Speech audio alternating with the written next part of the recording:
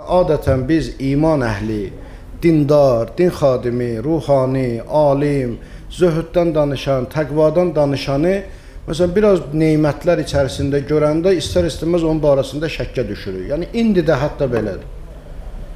Yəni sanki bizim zehnimizdə illər boyu, əsrlər boyu belə bir fikir formalaşıb ki, o ki imanlıdır, gərək elə yamaqlı ola. O ki təqvalıdır, gərək elə şalvarı cırıq ola.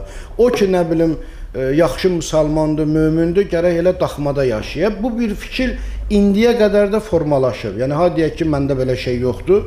Hər bir insan özünə müraciət eləyəndə görür ki, bəli, mənim də düşüncəmdə bu belədir.